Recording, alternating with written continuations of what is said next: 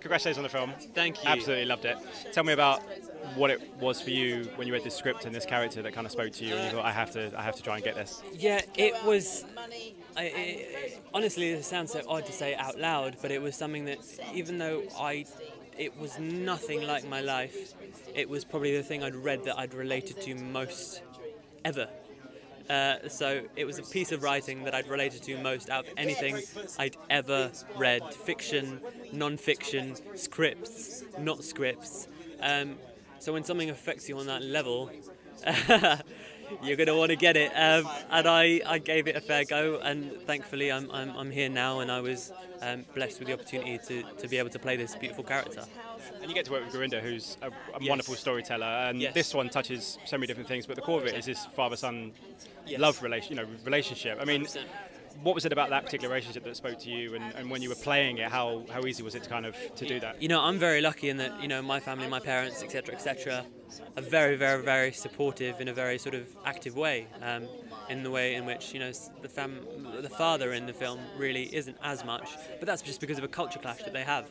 Um, but I think what is particularly sort of uh, sort of prevalent and sweet about the film is that you know it, it is culturally up, uplifting to those people. You know, it points out their pitfalls, a- and, you know at the end of it, it uplifts them.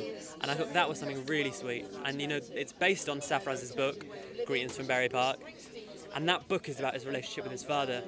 And so for Sarfraz to now have eternalized his father in a positive light on screen for the rest of the time, or for the next hundred years, however long we could keep going to the cinema for, um, is amazing. It's really like truly sort of touching.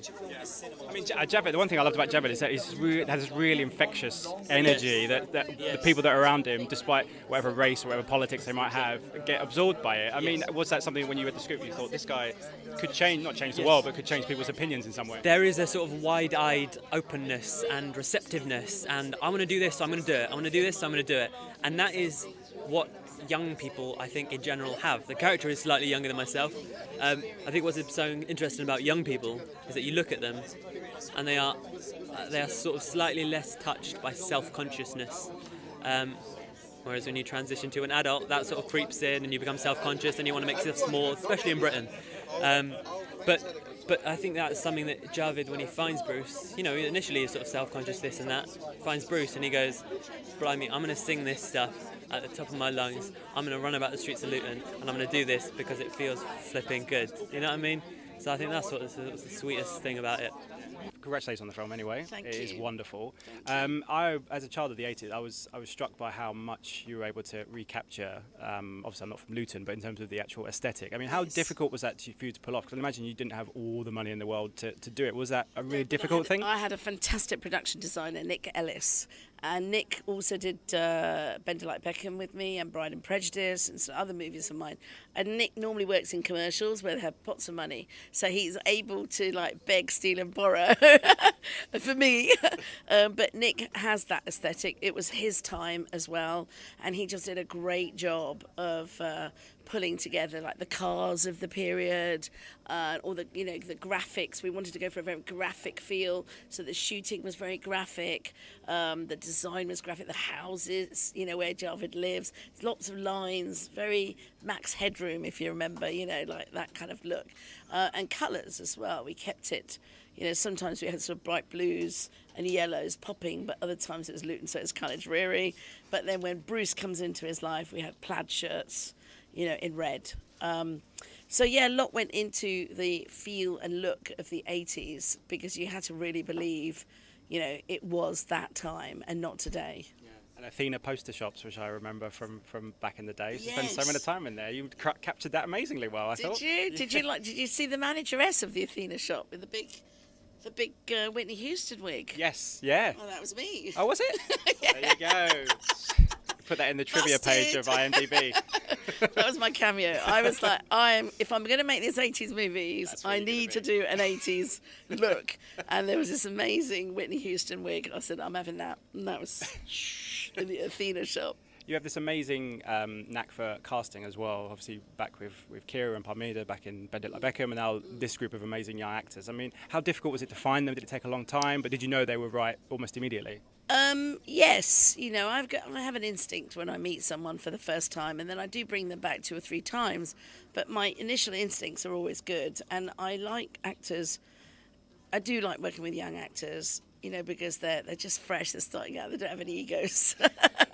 uh, but also they're just wanting to learn, you know, and so it's a very pure relationship. And my job is to take this fresh talent that often has great instincts and put it out into uh, a cinema performance, you know, and that's what I hope I've achieved with Viveik and Nell and Aaron. Um, is to make them feel like you know proper cinema actors, um, and they're very ably supported by everybody else in the film too. So, uh, so yeah, like young actors only work so long as they do have the support of more experienced actors around them.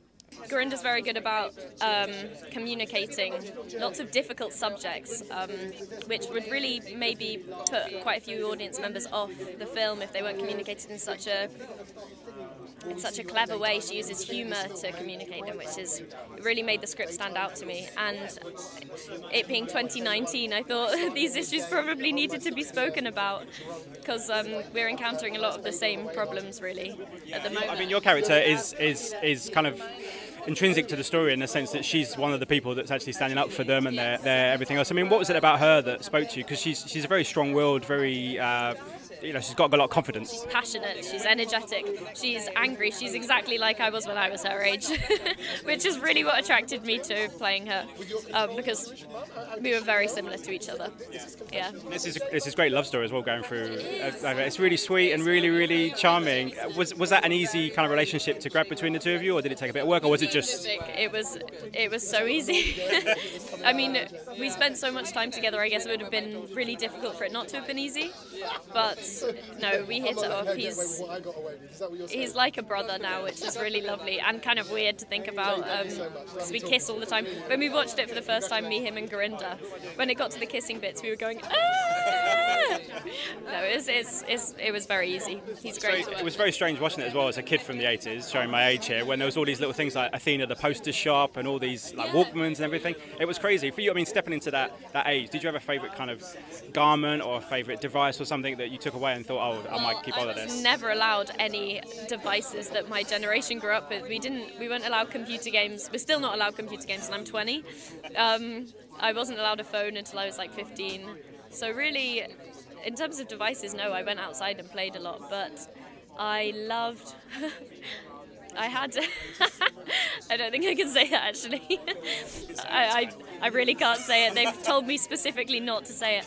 Um, I I loved I loved old-fashioned music. If you're asking about my music taste, to be honest, um, when I was a tween, I think it was Queen that was my favourite band and I don't think that's really changed to be honest.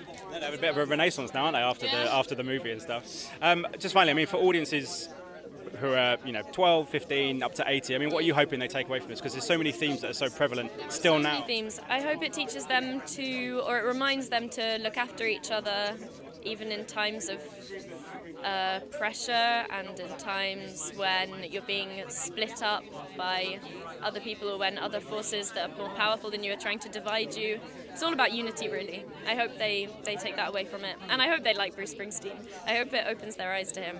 Yeah. It's been surreal, man. Um, it's the first project I've done like this. It's the first feature film I've done. Everything else before was, was TV. So now the fact that the first film I've done and we're being flown out to different places and we've got people coming out to, you know from different countries and different backgrounds saying how much they can relate to the story. It's it's unreal. It's, it's a beautiful feeling man.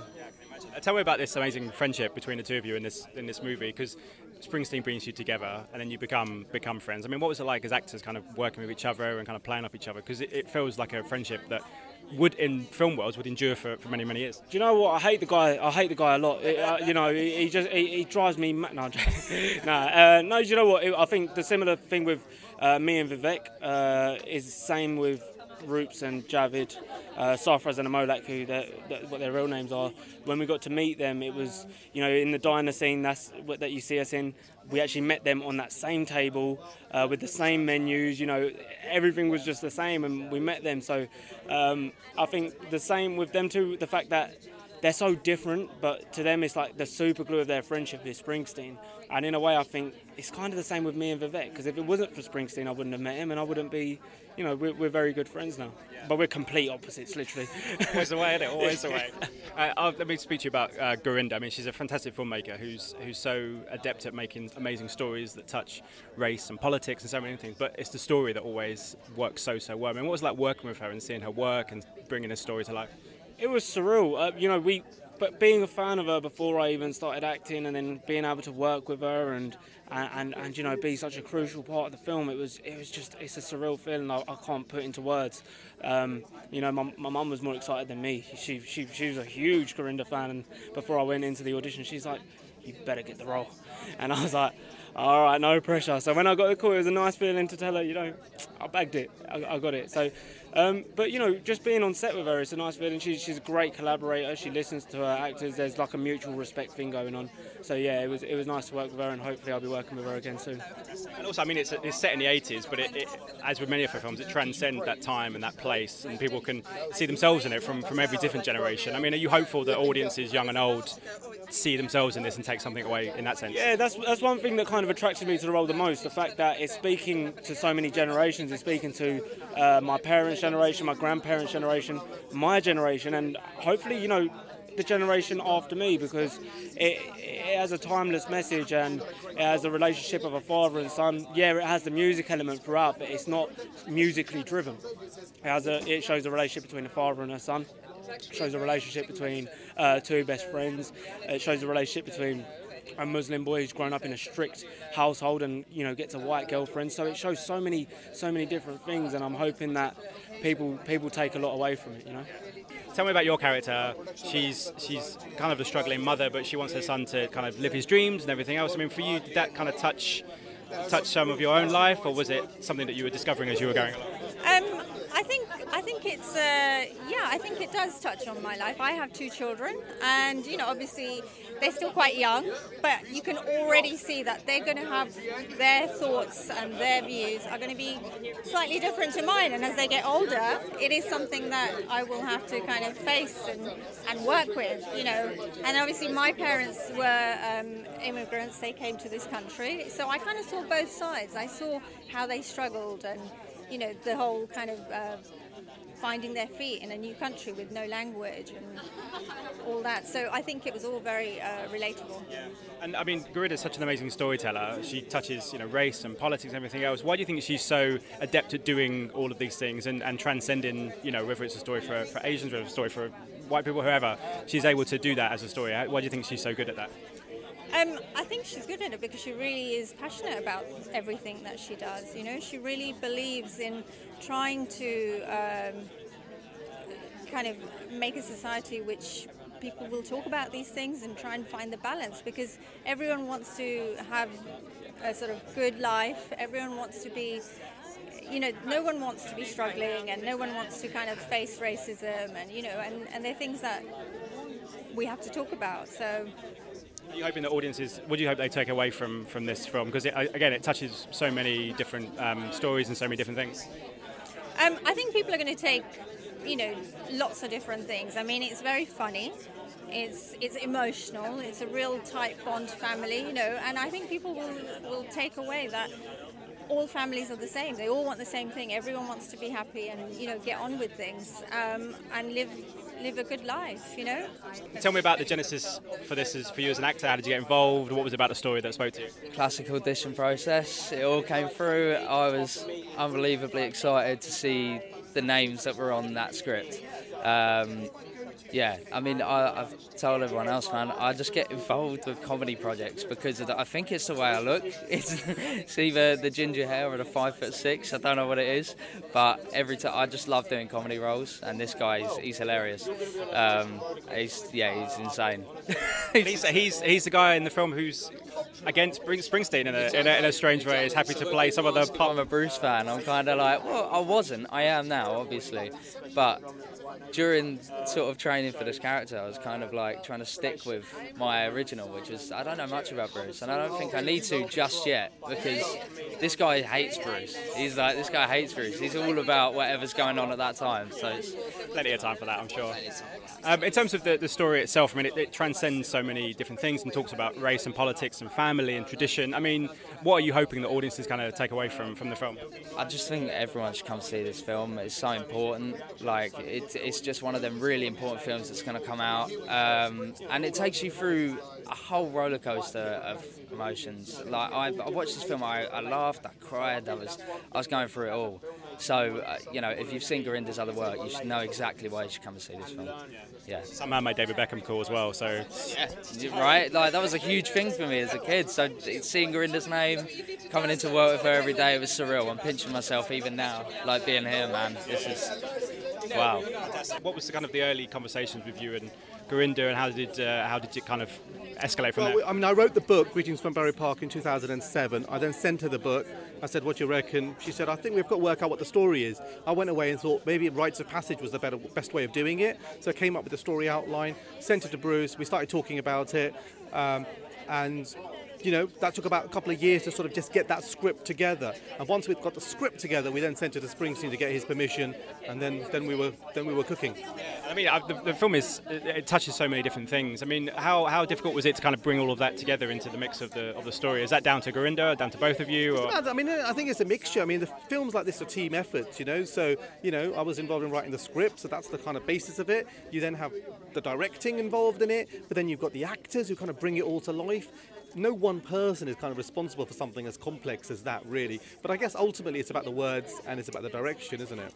Yeah. In terms of the casting, how, how involved were you with that? Because the cast across the board is just absolutely yeah, wonderful. I mean, the thing is Gurinder's brilliant at casting, you know, if you think about her past record. So when it comes to finding Viveik and finding Aaron and all those people, you know, that was all totally her. Um, I was lucky because I knew Rob Brydon, so I asked him to be in it, and, and he did that. And I knew Marcus Brigstocke, so I asked him. But that was just because I, have, you know, I just knew them anyway. But the central roles were you know, that was Gurinder and that was her trying to find people who, and they had to be new as well, you know. So, how was it kind of stepping back into into that era of the 80s and, and, and not just the setting, but also what was going on with the politics and everything else? Was that strange for you, kind of stepping back into that? It was a bit strange. I mean, I remember one day we were on set and they'd recreated Luton Sixth Form College 1987.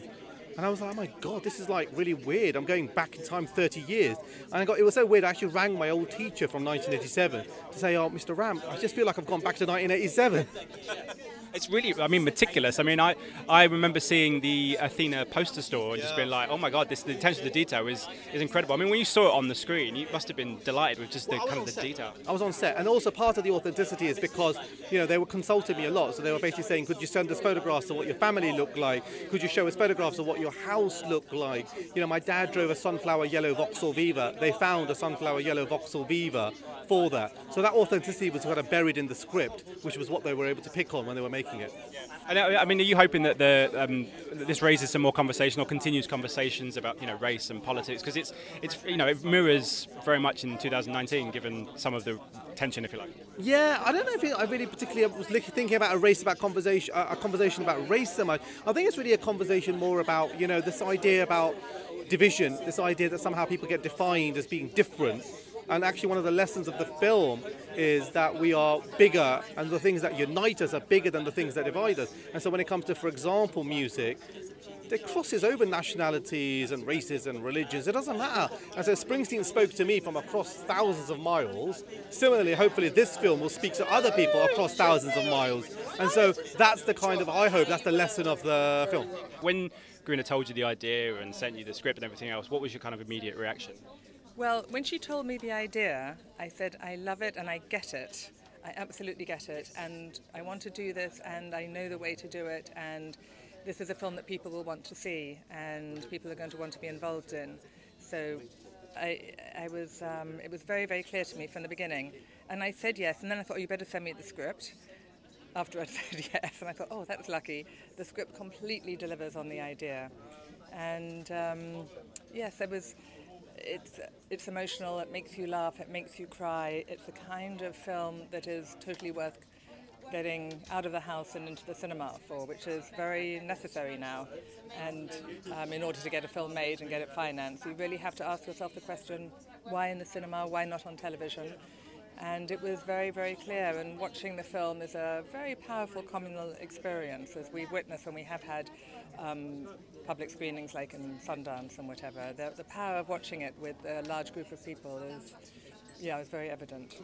As a producer, it must, it's always great to get your film out there and get people to see it. But you, you started at Sundance and you've been very, very different, loads of different places across the world. How have uh, audiences from, from different places kind of reacted? Are they all reacted in a similar way? Because it, it does transcend a lot of what it's about. It absolutely does transcend uh, the kind of Englishness. It's very, very rooted in Luton, unapologetically so. Um, it was fascinating to watch the film in Sundance because although Gurinder's intention was always to make a film that did transcend and that was universal, how strongly it resonated for America, I think, took us both a bit by surprise. You know, it's looking to an America where where a Pakistani guy arrives at the airport and is welcomed because he's coming to see Bruce, not sent away or taken into a room or whatever. It, it's a film that uh, obviously makes Americans feel very proud to be American at a time when people were really looked up to America. So it was amazing how it resonated with an American audience and how they laughed in places. You go, oh, okay, yeah. Well, it really spoke to an American audience. That was that was interesting.